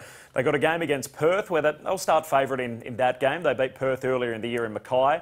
Then the next leg is, the, uh, is a back to back. So they play games against Melbourne and Bendigo. And then the last matchup, it could all come down to this. It feels like we're sort of forecasting as much as we can if you try and blue sky the season. But um, the matchup with Townsville, this is the one that was dropped off the schedule. So they only play each other once. So to use our sort of footy terms, a proverbial eight-point game, whatever you want to call it, it could really come down to that last game of the regular season. Well, we know how important every game is in a season like this, and yeah, they are playing catch-up, and they want to just string wins together. I think that's the most important thing is they want to start playing good basketball, get that momentum rolling every single night that – they can start to tick off one win, then the other, and then let other pieces fall in. You want to control your own destiny. You don't want to have to let other teams kind of lose and try and help your way in because they want to get back to where they were pre-quarantine. They were fun to watch and that's when they're at their best, and I'm hoping they can get back to it because that would be how good would this season be to end where yep. those last two games have so much to do with the rest of the season. Let's see if they can get something out of the second half. Uh, the Adelaide Lightning well down by 21 points here to the Canberra Capitals. Let's kick it down to courtside. Braden Hazelhurst is there with us. Um, Braden, what was your take on that first half? Yeah, guys, the UC Capitals were all over the Adelaide Lightning from the get-go, and like I said pre-game, they looked a bit different with their attitude. They looked more energetic, more loose, and I think that when I spoke to Paul Goriss, he said the loss the other night might have been good for him. So they've really been all over him and led by uh, Kelsey Griffin. I think she's been inspirational in this first half just with her throwing her body around and leading by example, and obviously Maddie Rocci as well on the scoreboard. And they've really kept Adelaide out of transition in offense, which is, you know, that's where Adelaide get their points. So they've been really good on that end. And more importantly, they're doing it in front of Townsville Fire, who are watching on the baseline who they play on Sunday. So sending the right message ahead of Sunday's game, guys. Thanks, Braden. We'll come back to you throughout that uh, the second half, which is upon us. Last of the warm-ups just complete. There's a few of the Townsville Fire Girls getting ready to go for their game. It's the second leg of a double header. Of course, being played at Townsville Stadium. The Fire games have been well supported. They have had um, a few locals in, and you were telling me, Pete, that it's actually been a change in the restrictions up there in Townsville, so we could have a few more patrons in for the playoffs. Well, that'll be huge. As you said, the Townsville Fire, in a season like this, when every game is so important, and if you catch a team who's asleep for one night, it could be the end of their run. So, yeah, come finals time, they could be loving having the, uh, the fans behind them and, and really helping them go because they're a team that they play with that kind of energy. They play with cliche, but they play with fire. That's what they do, and they go out there. Shyla Heal, Lauren Nicholson, they just roll, and they're a fun team to watch. So you never know what can happen. And yeah, there might be some clear favourites, but as we've seen, if you're not on your A game, you can get beat any single night, and that's how good a season can be when it comes down to one game. Perth are coming off a win too. Uh, Townsville haven't played since Sunday, so they've had a, a bit of a rest into their Friday night fixture, and then they play uh, Friday, Sunday, Friday, Sunday to complete the season off the next two weekends. Do have a, a trip to Cairns chucked in there, the Townsville Fire, but that's the, the game that's coming up next, the second leg of the double header, the Fire up against the Perth Lynx. They met on opening night. It was a long time ago. The Perth Lynx in better shape than they were then, losing that game by 25. It's wide on the scoreboard here at halftime. Caps by 21. Is it going to get better or worse for Adelaide in the second half, Pete? Well, that's what Chris Lucas will be saying at halftime. Is their defence has, has got to be better. You've got to have better energy, physicality that we touched on. But already right there, their offense looks missed layup, but the ball went side to side and a nice attacking down the rim. And really an open layup in the end. We know Tolo can get some nice blocks, but better start offensively. Unlucky not to make it, but can they now make sure they get a stop? The Caps in the light blue, Adelaide in the grey. Second half action, Townsville Stadium. Capitals by 21. Jump hook from Kelsey Griffin. Picked up where she left off. We touched on her at half time on the back of a big first quarter. She's up to double digits, Pete, to 10 points for Griffin. Oh, as I said, she's just such a smart player. Just read that seal perfectly, and she's not going to miss many of those. And I love seeing her back in the starting lineup because she's going to have so much to say with, with this uh, run for the Caps to try and go and win another title. Here's Wehrung for three. Second three-point attempt in this trip down the floor, and there's Griffin again, floating through, pulling down the strong rebound. Canberra move it around. They dump it down to Tolo, and she puts it in off the glass. That's the offensive execution we're talking about. Not forcing it, and then a silly error right there from the Lightning. Not forcing it in. Tolo had that position. You just fly it around the outside of the perimeter and end up getting a nice, easy pass. And right there, the ball flying through hands. And that's just too easy. But that's what the Lightning have been asking for. Chris Lucas has said if it's not there, don't force it. Pass it along the perimeter and, and get those easy ones because you've got players in the right position. You've just got to feed them where they need the ball. 71% of all games this year in the WNBL won by the team leading at halftime. 25-35. Foul called here is Maddie Rocci giving everyone in Adelaide cold sweats in that first half. She's picking up where she left off. 15 points, three rebounds. More points for Canberra. Out to 27. Wehrung runs the floor, answers straight back. End-to-end stuff to Payer. Tucks the arm out, and Alex Wilson drops back. The ref bought what she sold. She draws the foul. 25-point margin remains. That little bit of extra physicality, and, and yeah, she, she might have started a little bit there, but we'd seen it already. And you lift your intensity on one end, it kind of works into the referee's minds uh, that they're playing harder now and they're going to get into the ball a little bit more, and those kind of calls happen. So it might be a bad call. Great block there by Tolo, and she, she's done that well tonight, but that's all we wanted to see from the Lightning from the jump. That's what the Caps do that the referees know. But look at that, Tolo, once again, he thinks she's beat. She just comes across it and says, no, not tonight. And they're such a well-drilled team. The, the score before by Wehrung was really uncharacteristic of the Caps to be so broken down in, in a defensive possession.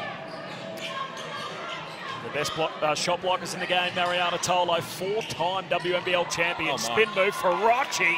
Somehow finds a way through the keyway and lays it home for another bucket. She's having a night out, Maddie Rocci, up to 16. You can see the bounce she has in her step, but she plays like that on both ends of the floor, and she's so fun to watch when she's in that creative mindset as Talbot lets one fly. And Hasn't been her night so far to pay her up the floor.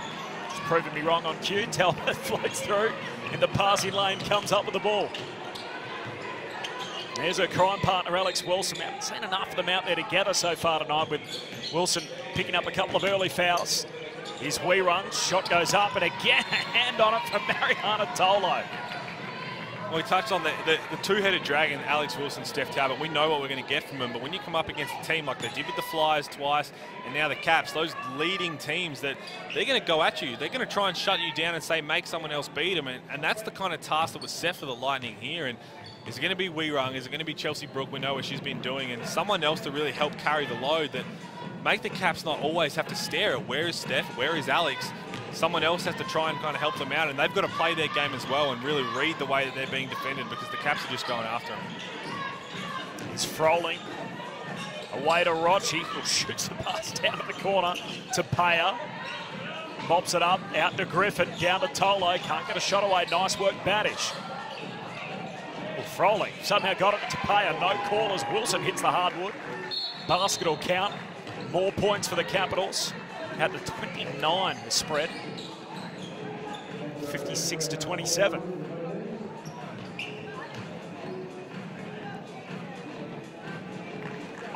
of work to do on the floor. Let's have a look at this again. That Alex Wilson banging bodies with Froling. Tupaea left it. Lay it up.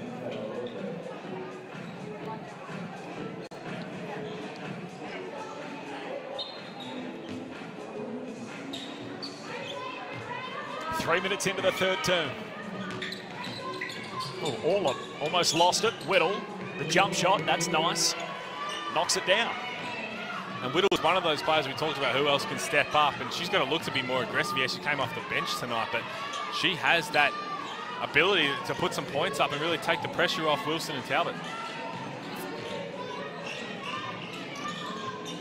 Here's Rocci away to Griffin. Sensational in the first half, and she continues her hot night. Nice jump shot.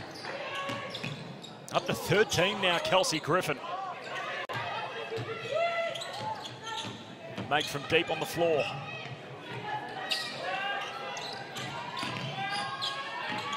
Here's Talbot. Works inside. Shot goes up. That's good. One back for Adelaide. Just ticking over 30 points here. Four, oh, four minutes into the third term. Froling draws Talbot. Goes all the way to the rack. Misses. Grabs, pulls down a strong offensive rebound. Ball runs away and it was last touched by Talbot. So Canberra keep possession. Great help side defense there from Whittle, and we've touched on that a little bit. She really does well at getting in, in the right spots at the right time, and just needs to reward herself a little more, especially on the offensive end. She makes really good reads, and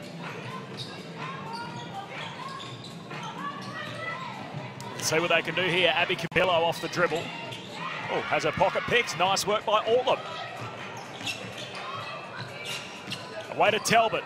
Talbot drives, left-handed shot goes up, no good, and Ruef fouled hard from behind. That'll be the fourth foul that'll be called too on Marena Whittle.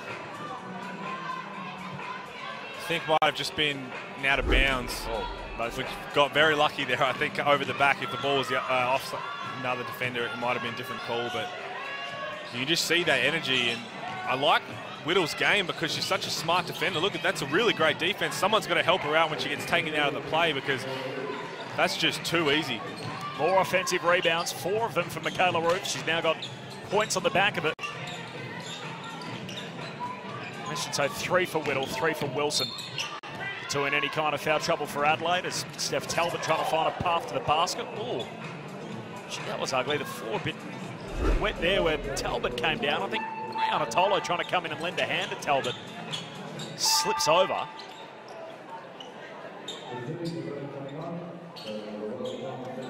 Ooh. Fingers crossed okay. Just looks to be back up and moving around. They're having a bit of a love. Would happen when you're trying to be a good teammate.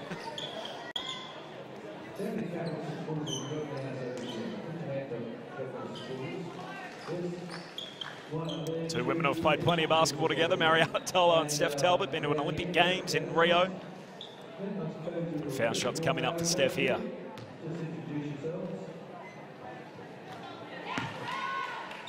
The courtside announcer in the background there, running the local PA. Um, Pete got the bright orange suit on. Is that part of your collection, the wardrobe at home? I'll probably be more of a light blue. I'll probably be more of the Capitals in, in that regard. But you'd think he, he knows he's in Townsville, doesn't he? Oh, yeah. That's, I think that's fair to say that's got to be game night only, doesn't it? The, the bright orange number. Doing a fantastic job. One of three venues used during the 41st WNBL season. Townsville, Cairns and Mackay, the hosts over six weeks. Here's Cubillo, puts the shot up, doesn't go. Ends up over the baseline and Ruef underneath the bucket trying to pull it down. This is the physicality we talked about. They know that the Caps have been dominating the offensive rebounds here, and I, it didn't look like there was too much in it. And yeah, really unlucky. Alex Wilson tried to get a body in, and Ruef just attacking the offensive glass, which he's done, and, and that's exactly what we've talked about. That's what's going to hurt over time. Is this reputation the Caps have, and it's already started in this first quarter, and then in the Lightning, you're coming up against another team that's coming off a loss. It's going to be really hard to, to really, when they want to bounce back and show that they're, they're the championship favourites, the Caps. Cubillo bounce pass down to Ruef. Ruef chucks it back to Cubillo. 4.30 to go in the third. Now seven on the red numbers. Down to Tolo. Tolo with another basket. She has just dominated tonight in the dunker spot. Just gone to work all night, up to 10 points. Perfect from the field, four of four. Well, she just saw it. Whittle was actually really good defense right there and had nowhere to go. And then Tolo just got in the right spot at the right time and made it really easy for her. She, she makes all her buckets really easy because she just gets in the right spots. She cuts well and she gets in the little dump down spots and that's why she's, she's been so good for so long. She's such a smart player and so when your bigs are smart like that and don't have to force anything, it makes think life as a guard a lot easier. Averaging 11 and 6 on the season so far, Marianna Tolo. Biggest outing was against the Flyers when she went head-to-head -head with her Opals teammate in Liz Cambage. Ortlepp with the triple. Catches the rim, no good. Bodies hit the floor, and there's a whistle on it here. As Ruef goes down. Being over the back foul actually called on Canberra. That's that corner to corner that we were talking about, and it looks like a really unfortunate call there as well. Because that's what you want to see for Chris Lucas right now. When, when you're down 30, you live with that because you, you want to see that aggressiveness going to the rebounds, especially on the offensive end, because you want to force extra shots, and, and he'll be saying you, he'll live with a couple of those early on because you set tones and, and, you kind of bring the team energy along with you. So it's hard to kind of switch on when you're down 30, but he'll live with that, knowing that they have the aggressive and the right attitude to try and get those O-boards. Louella Tomlinson called for that foul as Froling lights it up from three-point land. Keely Froling with her first make from deep, they've doubled Adelaide's score. 33 points. Alex Wilson answers straight back. The counter punch at the other end, her first points of the night, comes 3.30 before three-quarter time. Third member of our team, Braden Hazelhurst, is courtside for us. Braden. Yeah, guys, I think what you're seeing with the Canberra Capitals, with the, the change in the starting lineup, you're also seeing their three bigs play together a lot more. and there's such good passes. You can see a lot of connections between the two, a lot of high-low action, which is leading to those layouts from Marianna Tolo. That's been a real addition for the UC Capitals. On the other end, Adelaide have really struggled for consistency after coming back from that quarantine break.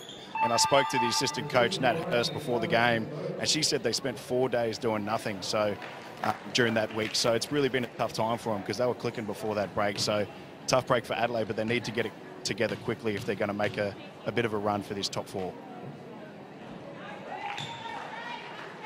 Mixed results too coming out of the quarantine period, which interrupted round two of the season. So that heavy defeat. First night out, 40 points against Melbourne. Ruef misses her second. It's the first missed foul shot for Canberra tonight. 15th, 16th shot that went up. Just on the path for Adelaide. They then had wins against Bendigo and Sydney and two lopsided results against Southside Flyers. Have a look at the rebounds quarter by quarter there. This is where the Caps stamped their authority early in the game. 17 to 4 in that first quarter. Now it's 11 to 1. Just all over the glass, both ends, and that's what the second quarter looked better by Adelaide. They won the rebounding count, but the Caps right now getting whatever they want, whenever they want, and Adelaide are just struggling to really just string those plays together that we needed to see, which we saw a little bit for glimpses in the second as a nice little jump shot there. Asked you at the start of the quarter, Pete, was it going to get better or worse for Adelaide? Well, so far it's got worse. And just at the rebounding numbers, which extends again here. So 11-1 after halftime Canberra's way. And I think Paul Goriss is probably really happy with that because that's the start of the game. He, had, he switched up his starting lineups, so I had Kelsey Griffin back in and, and, and Tupaea and to be able to, they set the tone in the first five minutes. Kelsey Griffin was outstanding. Maddie Rocci, we, we know, but she's been starting and in the third quarter, again, it's been the same exact thing. They've dominated the glass. They've really played really well defensively. And then when this bench unit comes on, nothing drops, which is a sign of a good team. We've seen that the Boomers recently. We've seen that from the Flyers is when the starters set that tone, can the bench unit come in and keep it or extend it? And they've done really well in every aspect of that tonight. Second foul shot misses. Ruef scoops it up again. There's another O board for Canberra. It's Cubillo down to Froling, and Froling getting her scoring moving here in this quarter. Up to seven points.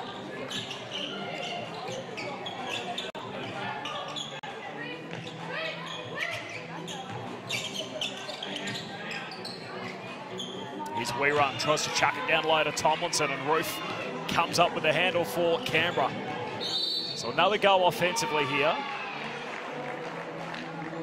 There's going to be a foul called off the ball.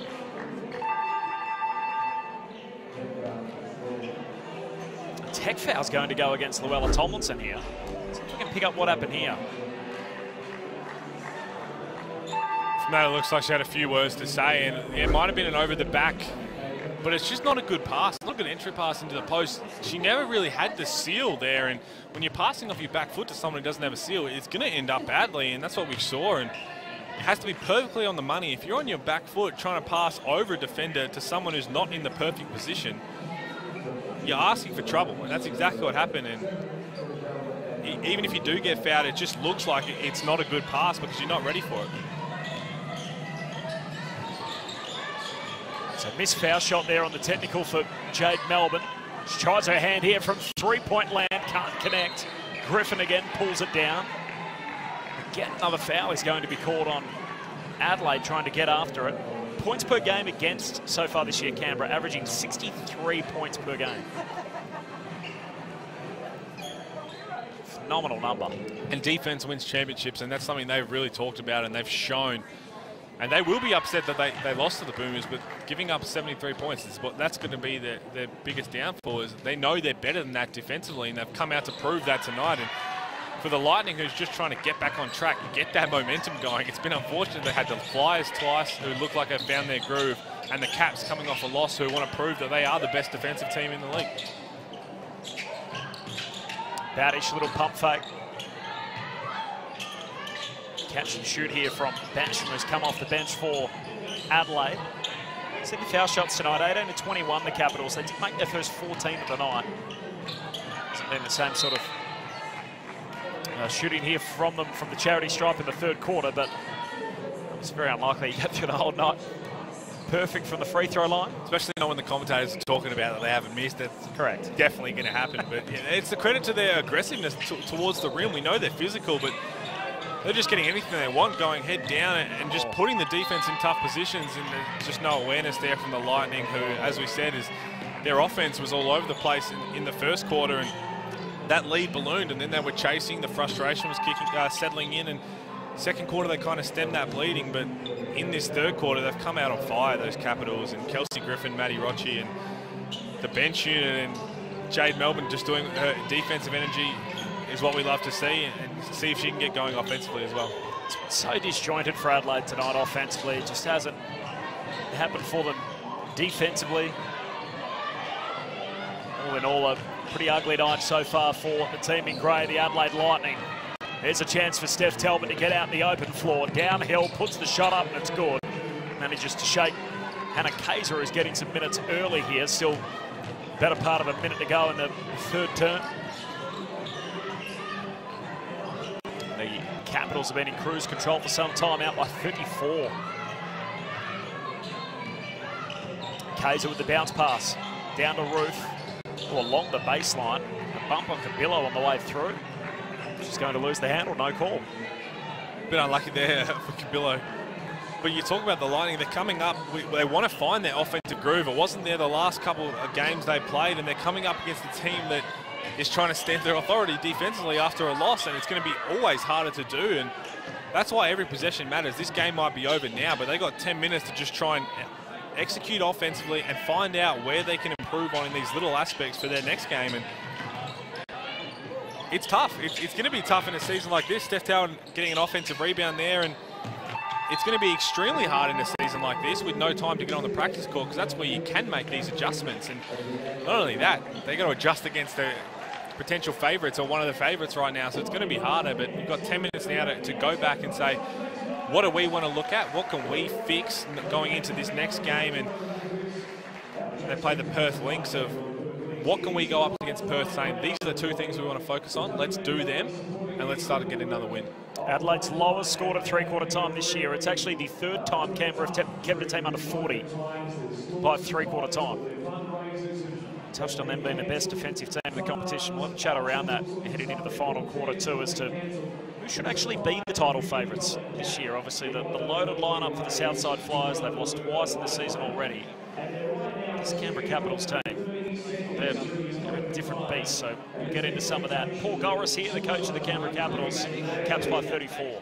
Get in, under, okay, look it like that, okay. Now if we can't, pop it out to here, get it, and then throw it. So keep your seal. If you're on the high side, we can't get it, pop out to here, bowl it into the outside, keep your seal. So Carly Smith here, vanish down low, vanish follow, Carly Smith back screen. Okay, got that. On possession to show, okay. Hey, we've got to, make sure, like, the only step ups are okay, but we're rolling down hard and then fill behind and pick up more movement. You see that? Paul Goriss there at three-quarter time.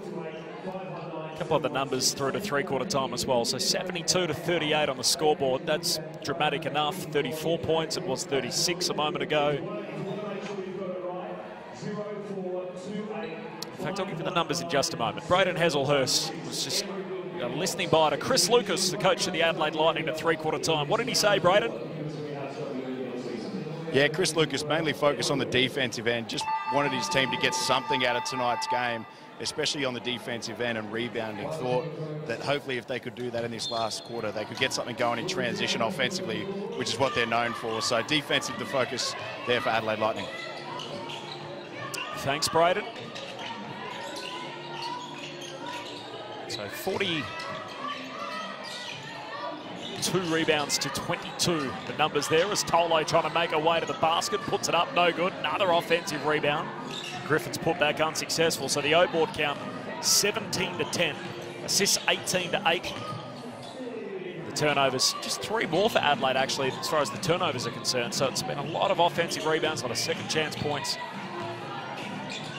It's been wide on the scoreboard, really straight out of the gates as Bowdish tries her hand from three. Talbot, offensive rebound, that's good, lays it home. And Talbot hasn't given up, and that's the sign of a great play. She's been going out of that third quarter. It was probably her best quarter for the game, but we see here the Caps going with their starting lineup as well. And Paul Goriss want to see what they've delivered in the first quarter and the third quarter, and then probably sit them all with pretty early. But they seem to have got things figured out, and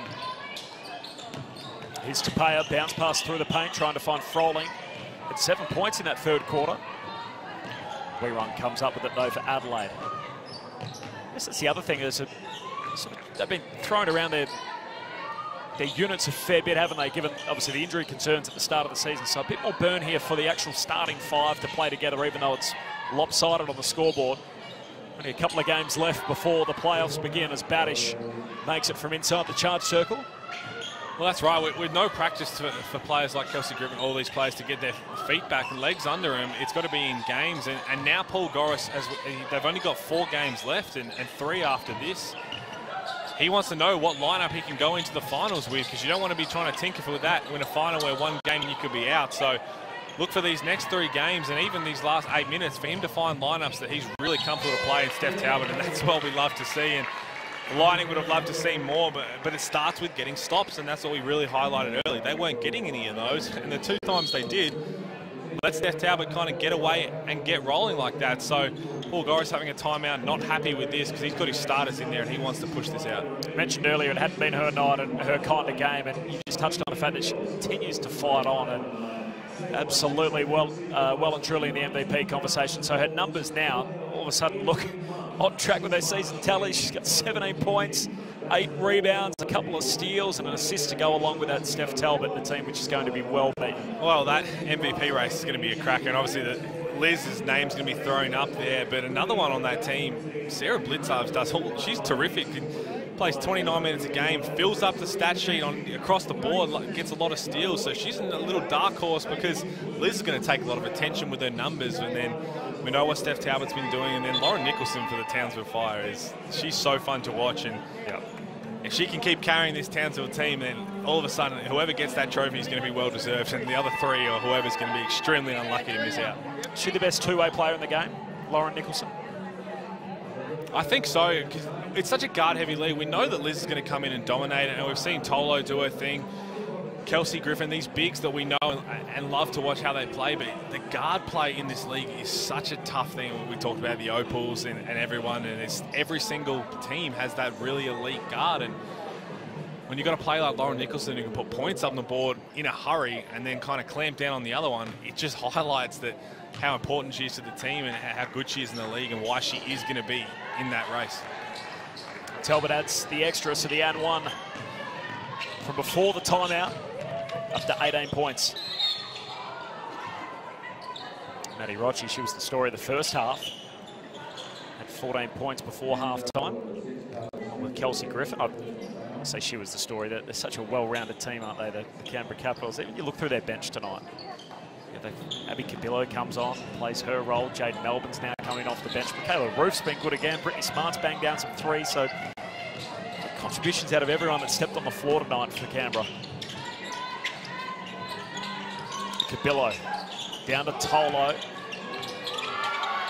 Another high output night for her. Tupaea just chucks up the three, misfires. Tolo got a hand on it, but Basham recovers the ball for Adelaide. Oh, Griffin goes straight at her and comes up with a steal. Great work from Kelsey Griffin.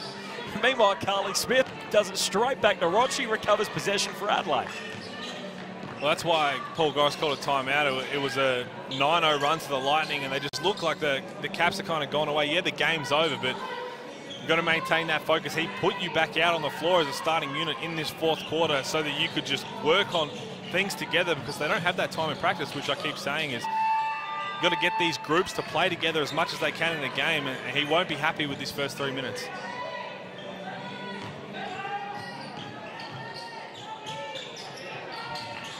Alex Wilson trying to find her crime partner in Talbot. Canberra awake to it as Rocci comes up with possession. Final seven minutes. First leg of a double header tonight. There's another game to come at Townsville Stadium. It's Perth Townsville next, the home team. Marianna Tolo, let's rinse and repeat all night for her.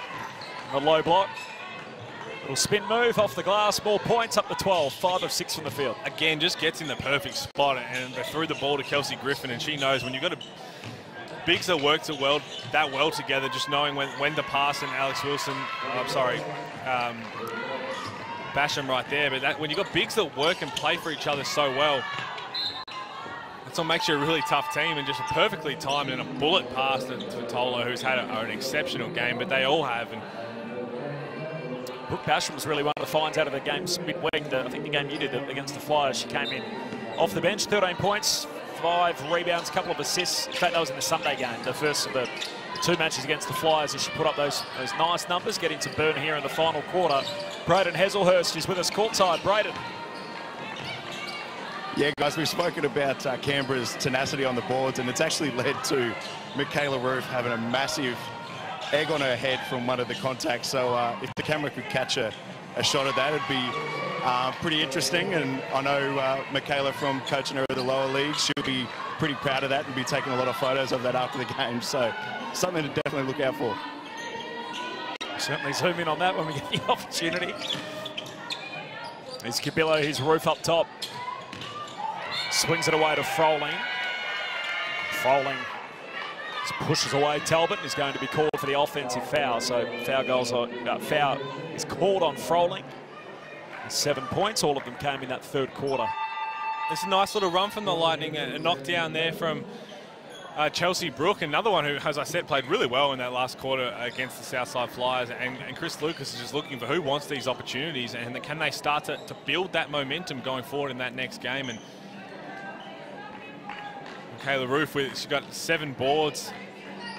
And that's what you want. You want your bench players to come in, bring that energy, and that's why the Caps are so good. That's why the, the Flyers and the Boomers, these teams are so good because their bench comes in and just carries on what the starters have done, and if not, extend it. Ooh, get a little carried away there, and they've had a couple calls go against them, the Lightning, but it can't come down to that because there's been so many things that have been in their control that they just haven't taken care of. 43 rebounds to 27 is the massive one that they'll be looking at. Had seven rebounds too, Mikaela Ruef, so that's probably part of the reason how she's picked up that egg on her head. Still out there at the moment in the number three singlet for the Capitals. Rocci swings it out. Nice baseline jump shot's good. Put down there by Mikaela Ruef. Right on cue. So the five out there, Ruef, Cubillo, Rocci, Tolo and Griffin for uh, the Capitals. Here's Steph Talbot at the other end. Nice rainbow three straight on up top. Nothing but nylon for Steph Talbot. I'll give her a lot of credit. She just kept fighting and fighting all through tonight's game, and they've been all over. She's played 31 minutes. She hasn't stopped the whole game, and that's why she's so good. And we love to watch her play. And it's not as if this, as you touched on, this last quarter quarter's just been filled with development players for uh, the Capitals either. They started the quarter with their starting five the margin's it's 24 points at the moment. Sure, it's, it's lopsided. Did get out to 36 one stage in that third quarter. Adelaide are winning the turn, as you can see the, the breakdown there quarter by quarter.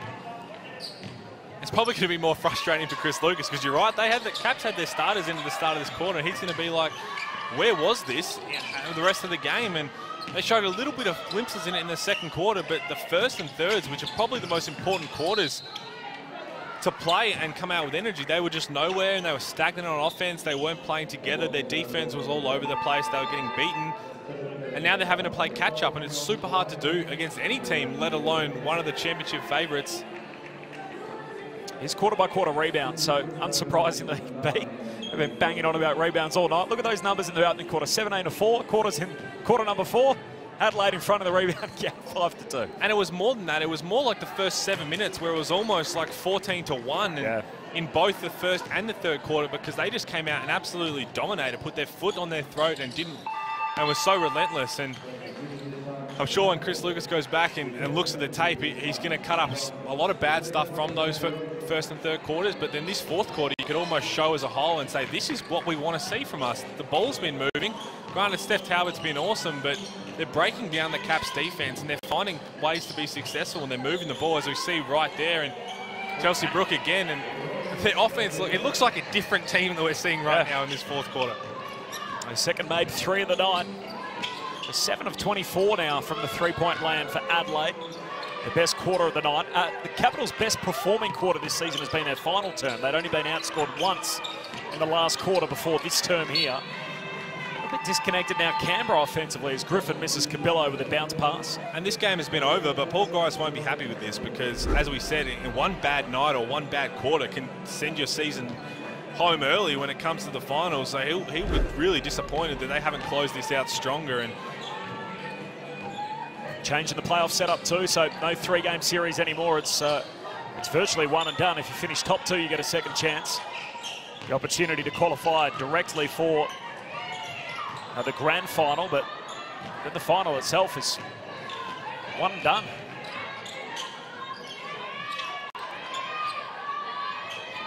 Asked you on the stroke of three-quarter time about the title favourites. I understand the appeal with Southside, overwhelming offence when you put that much talent on one team, but the games they've lost this year, I think I've done a couple of those, I think I did both those games, that it was really defensively that they were exposed and of course, the old adage that we always like to pump out close to playoff time, our defence wins championships. If looking for the best defensive team in the in the land at the moment, it's it's this side right here, the Canberra Capitals. Oh, well, it is. Just they're so well drilled and the energy they play with, they all move together and the guards just don't let anyone breathe and it's really tough to play against. I spoke about the guard-heavy league and and it's kind of just a wake-up call, but we talked about this last quarter, Paul Goriss, because they've still got three games left and they come up against the Townsville Fire, who if they take care of business tonight, you know, seven wins. And all of a sudden, if, if you keep some bad momentum rolling out from a quarter and it kind of stems over to the next game, then you're catching your tail. And we know that last game of the season when they when it's Caps versus Flyers could have huge ramifications on that finals because the last thing Paul Goriss wants is for them to have to beat the Flyers to finish top two. You do not want that in, a, in the way the finals are set up. So he'll want to make sure they finish off these last three minutes right. Looking forward to Sunday. Shot up, no good. Tyre, actually Tyre has come off the bench. Hazer also out there. Recovers the ball on the baseline, just shuts it back to anyone that was there. And unfortunately for her, it was Chelsea Brook gets the easy basket. 23 point margin. It was 36 later stages of the third term. Final two and a half minutes. Nationally televised game two on Sunday. Melbourne Boomers and Southside Flyers trying to establish some of this pecking order up top. Ortlepp for three, misfires. Brook pulls down the O board. She's been terrific, and, and that's something the last couple of games. She's really just playing with a lot of confidence and shooting the ball well, but uh, every other aspect is. Basket for Adelaide. Points will count. Morgan Jaeger some minutes late in this game. Another one, it's a great take, and Chris Lucas will be looking for just whoever wants to take advantage of situations like these. And Hasn't been under 20 points for a long while either. Brit Smart somehow passes through the lane, drops to her knees, gets back, still with the handle, and now the offensive foul is going to be called. Amy Brett draws the foul. Five out there for Canberra at the moment. Tyre, uh, Brit Smart, Jade Melbourne, Hannah Kayser and Alex Delaney on the five for Canberra late. That's a great take by Brett right there, and you see she was all over Brittany Smart there. Gets beat and then just steps her body in and just the, this whole last quarter, it's a different Lightning team than we saw those first three quarters, and that's probably really going to frustrate the coaching staff of the Lightning. Brook, Brett, Ortlepp, Jaeger and Whittle, the five out there for Adelaide late. Hot minute left in this, 19 points the margin. Adelaide have fought on as Brook kicks it back out to Brett, shoots the three, no good. Jaeger comes charging through, comes up with it. Out to Brook for some more points, and a jump shot's good from the foul line. What's she up to now? She's up to 12 points. I mean, credit Jaeger and Brett for coming into this game and playing played two and a half minutes each. And look at the scoring spread right there. And as we said, they've just looked like a completely different unit. Their offense has been way more aggressive. And yeah, you can play with that uh, when you have no pressure, when you know the game's over. But this is the way we see the Adelaide Lightning play pre-quarantine and, a couple of games other than that. When they play, they flow and they're really aggressive. So to be able to look back on this last quarter and say, guys, we know we've got it in us. It's not gone anywhere else, but we need to be able to tap into that from the jump because when you come up against these good teams, they're not going to let you breathe and they're not going to beat themselves, and that's the most important thing they've got to remember. Smart knocks down her first at the line. So Capitals on Sunday up against the Townsville Fire. Perth and Southside, their remaining games, those last two next weekend, which is the final week of the regular season, would you believe? Just repeating for Adelaide, they'll be in action again this weekend against the Lynx on Sunday. Be able to take some confidence at least out of this final quarter. Then they've got a back-to-back -back midweek games against the Boomers and the Spirit. And then in the last round, they play Townsville in Cairns, by the way, on the Friday night, and then they make their way back to Townsville to play Sydney on the last day of the regular season, Sunday week. Still more basketball to come tonight. Second leg of the doubleheader, the Perth Lynx up against the Townsville Fire. Fire, one of those teams with Adelaide trying to lock up a place in the playoffs. Well situated at the moment with six and three record. Shot goes up from Whittle. There's a foul called on the shot, so foul shots coming up for Whittle. 27 seconds left on the game clock.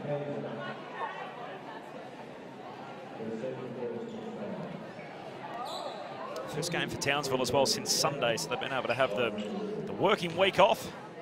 Friday night basketball up against the Lynx next. Did that game last Sunday as well against the uh, Sydney Flames. The Flames shot the lights out in the first half, led at half time. I think they only had 14 points after half time, and Townsville really locked in when they had to. And came from behind to win. Of course, it was Shyla Heal again, who took over in the third quarter. Second time we've seen that from her in a game able to uh, really to lead a comeback. And that's what I think Paul Goriss wants to see from from his young guards is can they have that energy and that defensive ability to go and shut down a guard on another team, and they did that from Alex Wilson from the jump, put Tupaea in the starting lineup, and they want to see that because when you play the Townsville Fire, if you let Lauren Nicholson and Shyla Heal get going, you're in for a long night. And now when you come up against the Boomers, Maddie Garrick's rolling as well. And we know what the Flyers have done. Leilani Mitchell, Bec Cole just set the tone for them as a guard spots as well. So it's super important to be able to have that ability. It's Jade Melbourne. We haven't seen too much of it, but we've loved what we've seen from her this year and just another luxury for Paul Goriss off the bench. Perfect exclamation point on the night for the Canberra Capitals. Jade Mitchell with a nice solo move and a 20-point margin in the finish. They came out hot, the Capitals. What a way to bounce back after the loss to the Boomers midweek. Caps back in town in a big way. They get themselves to 8 and 2 on the season, the best defensive unit in basketball. They keep Adelaide to 65 points, the Capitals 85. It's the two-time defending champs, Pete Hawley, by 20 in the finish. Well, they did what they had to do, and yeah, that, that last quarter wasn't good. I'm sure Paul Goriss has something to say, but they came out with intent from that first jump. And that's something that we heard in the, in the pre-game interview with Tupaea was they wanted their defense to be better. They knew they had to be better and their offensive execution. And all those things just rolled for those first three quarters. But their defensive effort, especially against Alex Wilson and Steph Talbot early, granted Steph Talbot kept fighting, which is what we expect from an MVP caliber player. But this Capitals as a unit, as a team, is so dangerous when they're playing like this. And that's why they're one of those top three favourites. Lost three in a row now for the Adelaide Lightning, the only teams to have lost three in a row in the, the league this year, the Lynx, the Flames and the Spirit, who are all, all out of playoff contention. So they need to turn around that skid fast. Adelaide, they've obviously got a, a condensed schedule, having missed a week, which is, that narrative's been well played out, but back-to-back -back losses to the Flyers and another title contending team in the Capitals. It's 20 points in the end, but it was it was 36 in the in the third quarter when the the game was really dusted halfway through the opening quarter in, in retrospect. Yeah, and a condensed schedule can work one of two ways. Obviously, you'd like to be able to have practice to, to really look at the tape and try and fix things, but they come up against the Perth Lynx next. If they can start to flick a switch and come start playing some good basketball to get momentum going, then they play the Boomers, which if you start with them early, you never know, you can catch them off, off guard and, and kind of roll, and they're going to have to put those wins together. If they want to make a run at that fourth spot, it's got to start in the next, next game, but I think happily for Chris Lucas, it started in that fourth quarter right there. The ball keeps rolling for the Canberra Capitals. Their players keep getting fitter. Had three players that started slow, obviously carrying injuries into the season. Uh, Kelsey Griffin, their team leader, the engine that makes the team go. She had a big night tonight. She finishes with 15 points and nine rebounds. And Braden Hazelhurst has got Kelsey Griffin with him now.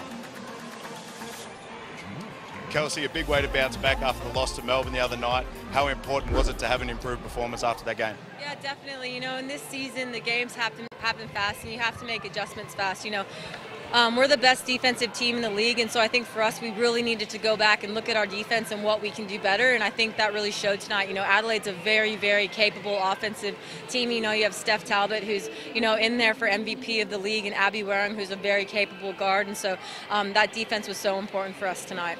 And led by example in your first start of the season, what was your mindset after starting most of the season off the bench so far? Well, I think it's been really good for me. I haven't had a lot of opportunity to come off the bench throughout my career, and so it was really good to be able to watch and learn the game and see what my team needed help with and what I could do to help contribute. And I think after watching that Melbourne game and watching what we needed, it was that defensive mindset, but also running the floor. I thought we weren't using necessarily our depth as much as we could have, and so I really wanted to set an example by, you know, running as hard as I could up and down and rebounding. And Townsville on Sunday, what are your thoughts on them, and what do you need to do to improve out of that game on Sunday? I feel like me and Townsville have a long history ever since um, ever since my start in the WNBL, and so it's always a great matchup when we get to play them. You know, they're young and they're hungry, and they play with a lot of heart, and so I think it's going to be a great game. No worries. Good luck on Sunday. Thanks so much. It's great to have her back at peak fitness. Kelsey Griffin. What I loved most about that interview, Pete, just as they say, say it with your chest. We're the best defensive team in the league. They believe it. They're speaking it.